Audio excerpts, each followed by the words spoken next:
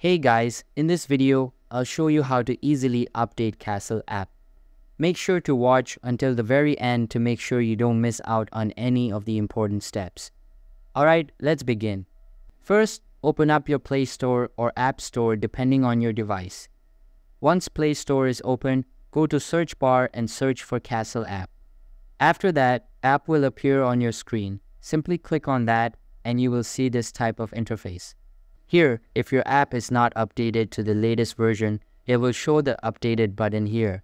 Since my app is updated to the latest version available, that's why it is showing open button instead of update.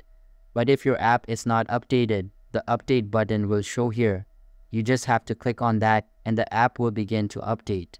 Alternatively, you can update the APK file of Castle Movie app by searching it on Google and follow the on-screen instructions to update the Castle Movie app. And that's it.